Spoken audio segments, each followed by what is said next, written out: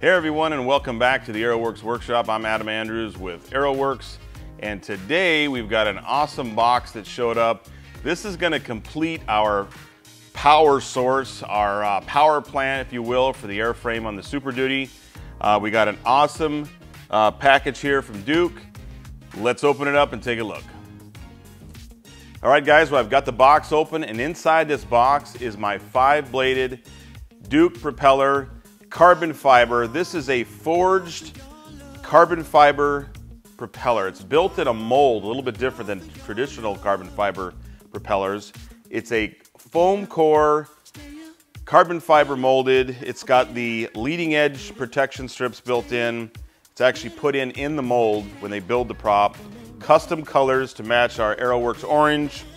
And this is just a piece of art. Beautiful craftsmanship. The fit and finish on this is great.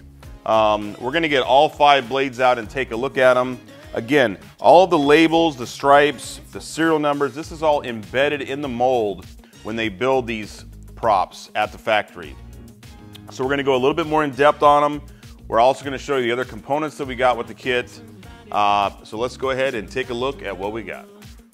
Now what holds all five props together is this forged carbon five-bladed hub, also built by DUC.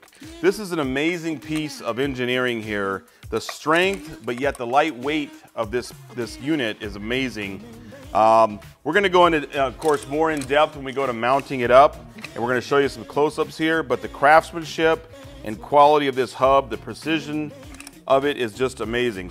So basically, our propulsion system which consists of the five bladed hub from DUC, is going to made up to the five carbon fiber blades, and then we have the back uh, spacer as well as a carbon fiber spinner. All right, now take a look at this spinner. Pure carbon fiber perfection.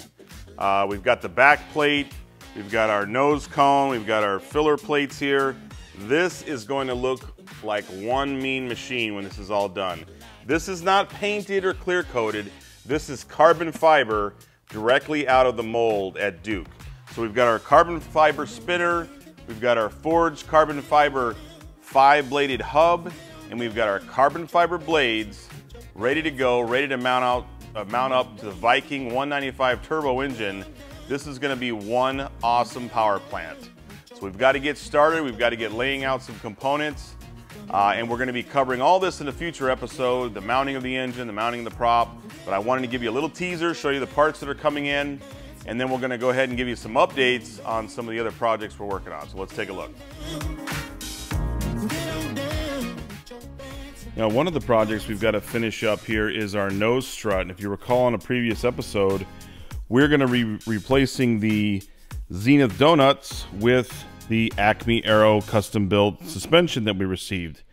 Now I decided to go ahead and order up a spare nose uh, strut and leave the factory one that I had already had powder coated done. That way we basically have a complete uh, backup.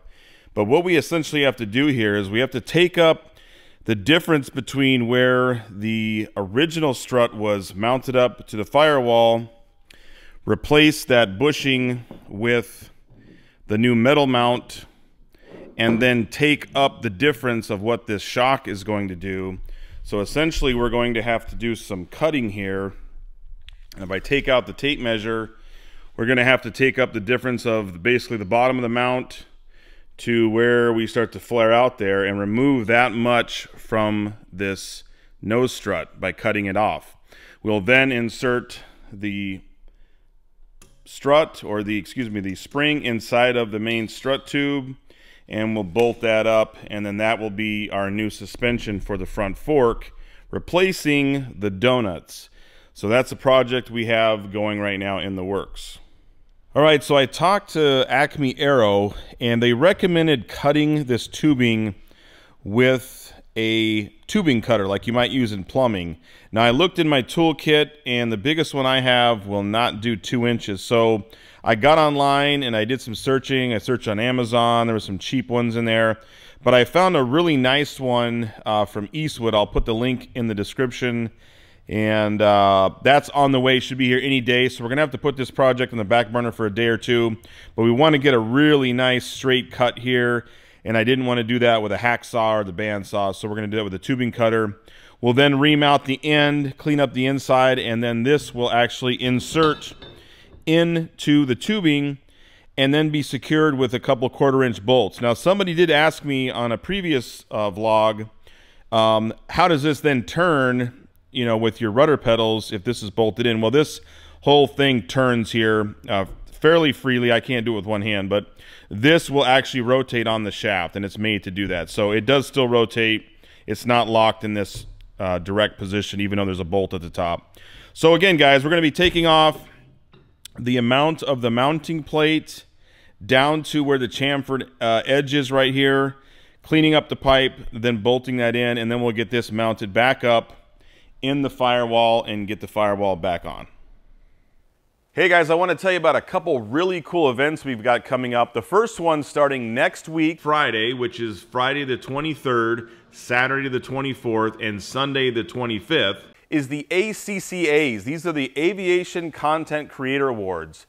This is the second annual uh, awards uh, event that we're having. And uh, some of the biggest YouTubers there, Mike Patey, uh, just plain silly, all all the guys you know, you know all of them that you've been watching. Uh, they have the top 50 uh, creators that are going to be there. They're not really in any order, but they're all going to be there. A lot more were invited. Uh, come on down. They've got an air show on Saturday. Meet, greet. We're going to be there. Aeroworks is down there. So you want to do that. Again, that's at the Whiteside County Airport in Rock Falls, Illinois. Uh, the week after that, so starting Monday or Sunday, depending on how you look at it, is of course AirVenture in Oshkosh. We're also going to be up there. We'll be up there uh, camping Thursday, Friday, Saturday, which is kind of the following week because we have some other engagements. But we'll be probably around the Zenith booth. We'll be around all the uh, manufacturers, Viking engines and that.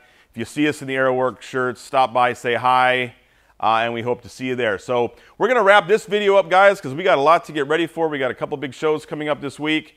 Um, we'll, we will be getting that tool in to finish the nose gear, so I'll pick that up probably midweek. And uh, so hopefully by the next video that you see on the airplane, we'll have that nose gear cut, the strut installed, and we will be putting it back on the airplane and rocking and rolling. So hope to see you guys again, the ACCAs, and uh, come out and see us, say hi, and uh, we'll see you there hopefully. So we'll see you on the next one. It's Adam from Aeroworks, and thanks for watching.